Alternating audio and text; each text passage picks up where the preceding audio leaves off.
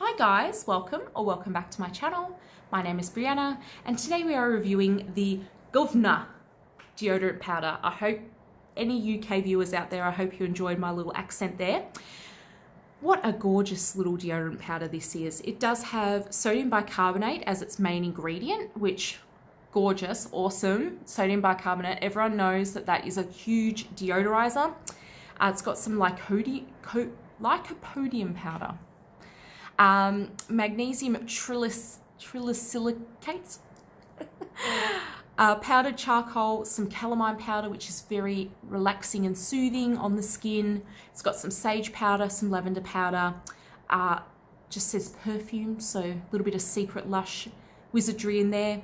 Some patchouli powder, rose absolute, some vetiver oil as well. So I know what you're thinking. Most people, when they see patchouli, they freak out. They're like, oh my God. Patchouli, it's either a love or a hate relationship. Most people love patchouli or they hate it. I'm a bit indifferent to patchouli. I sometimes can go for patchouli and sometimes I can't. So I was kind of worried because this was a blind buy. I bought it off the website um, when I did my huge order and I thought, look, I'm already going to review the Greenwich. I've reviewed the T'eo and the Aromaco. I'm going to try the Guv'ner the Guv'ner. And I'm actually really glad I bought it because the rose and all these other scents really balance out the patchouli. It's not offensive. Mmm. It just works really well in harmony. It's got that sort of herbally, florally smell, but not in a girly way. It's just like, it's very hard to explain. It's just like a meadow, like a garden, um, but not in a girly way. Just just think about walking through a beautiful garden. You've got the herbs on the right, you know, with the rosemary and, um, you know, all of these just gorgeous, and the sage and everything just on this side. And then on the other side, you've got your lavender and your rose. It's just like a beautiful English garden, um, like a country cottage garden. Um, and that's what it smells like, and it works. It works, it lasts all day. It's a five out of five rating definitely better than the Aromaco or the T'eo. Both of the powders. I've got the other one here as well that I've just reviewed. Um, wonderful, just truly wonderful products. Um, and I'm definitely not buying Aromaco or T'eo ever again. these are the ones. These are fantastic.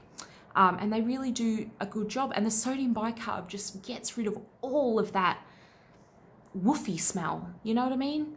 And look, ladies, I sweat profusely and I smell very easily. And this worked a treat for me. So if you're a woman, it's going to work no matter what. If you're a man, I sweat as much as you guys do, and I smell worse than you guys do sometimes. So if you're a man, don't hesitate. Get some of this. It's great. And the other good thing about this is it's multi-purpose. You can use it on your groin area. You can use it on your toes. You can use it anywhere that you sweat if you've got sweaty hands. Um, or if you do weightlifting or anything like that and you need a little bit more grip on your weights or whatever you're doing, um, very good for that as well, I, I would reckon, because of the way it just soaks up all the sweat and everything that I have. So, yeah, I'm very happy with it. Now, I do apologise, this whole review, there's been rain going on outside. It's just started to rain now that I'm doing all these reviews, uh, but I want to push through and get them done for you guys. Um, but yeah, if you want to see more Lush reviews, I'm going to leave that playlist down below. There's plenty of products down there. There's over 100 products, so knock yourselves out, guys. There's going to it's going to be a bit of a ride if you decide to watch all of those. Um, I've also got that haul that I was talking about, my $1,300 Christmas haul, which did include some older favorites like these ones. Um, so I'm going to leave that link down below as well. But yeah, until next time, take care and good luck with your deodorant shopping. Bye for now.